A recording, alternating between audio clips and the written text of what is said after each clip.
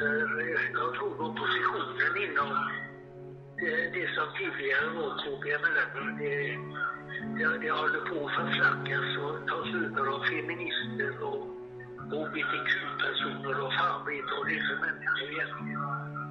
Så att eh, det ser mörkt ut idag, men eh, eh, tankarna på ett nytt samhällssystem, det kan man aldrig you, you feed them, so tell them who sent this up.